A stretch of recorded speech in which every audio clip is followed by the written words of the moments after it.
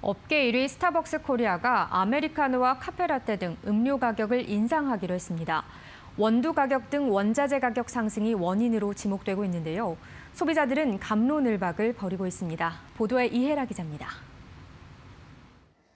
스타벅스 코리아가 8년 만에 아메리카노와 카페라떼 등 23종의 음료 가격을 400원 인상합니다. 그동안 스타벅스는 다른 프랜차이즈 커피 업체들이 음료 가격을 100원에서 400원가량 올릴 때 동결해 왔습니다.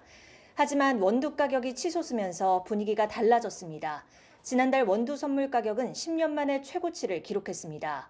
지난해 초와 비교해선 두 배 뛰었습니다. 원두값 상승으로 원가 압박이 심화하고 있다는 겁니다. 소비자들의 불만은 거셉니다. 지금도 커피값이 충분히 비싸다는 겁니다.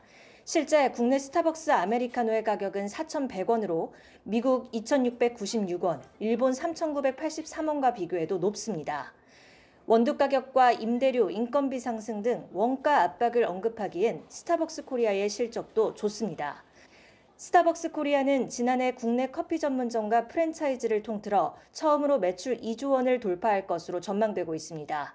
영업이익과 순이익도 전년과 비교해 각각 29%, 59% 증가할 것으로 예상됩니다. 비싼 커피값으로 폭리를 취하고 있다는 소비자들의 비판이 나오는 이유입니다. 내리는 데들은 내리더라고요. 4,100원에서 더 올리면 사실 좀 브랜드 이름 때문에 좀 올라가는 게 아닌가라는 생각이 듭니다. 반면 일부에선 스타벅스 코리아가 업계 대표주자로서 일회용 컵 없는 매장 등 ESG 경영에 힘쓰며 비용을 지출하고 있는 점이나 카드사 연계 할인 등을 고려하면 가격 인상을 수용해야 한다는 의견도 나옵니다.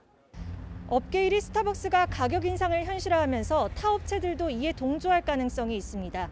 이제는 밥값보다 커피값을 걱정해야 하는 시대가 됐습니다.